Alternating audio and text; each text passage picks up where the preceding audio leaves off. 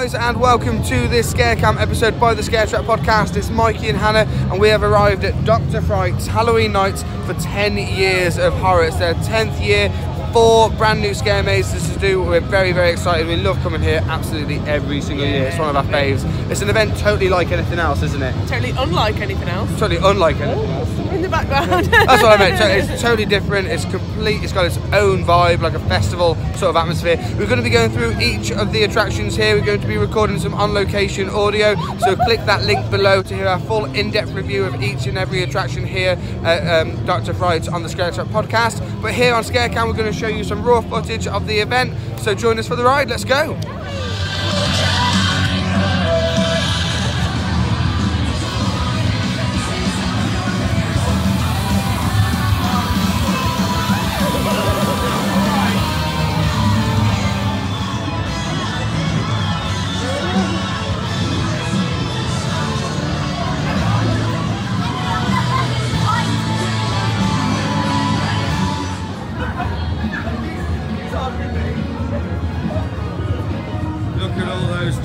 Terrifying faces.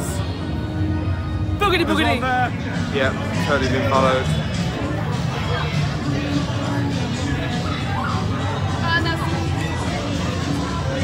Go to the toilet. I don't even need the toilet.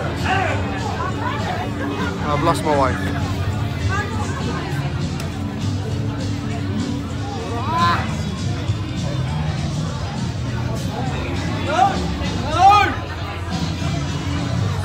Inside these huge It's a very special year. And it's a very special in year. Horror Town. It's the 10th anniversary of our award-winning Halloween Spookfest. The residents have assured me that they are going all out to make sure your night in Horror Town is met with the loudest So, screams. You've got loads of clowns on a spaceship. You've got the food court.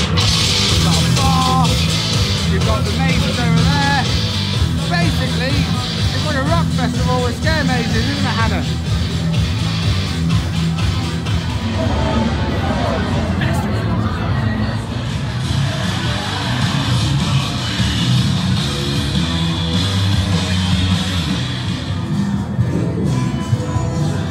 Right then, so far so good here Dr. Fright's Halloween Nights. Our first maze was absolutely fantastic into the woods.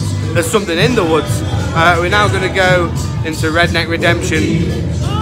Ah, Bobby Buzzsaw Lee's going to get you. I, I bet he's not here. Oh, he's not I don't believe you. I don't But we're going to go in. Uh, remember, listen to the podcast for the inside the, the mazes. Let's go.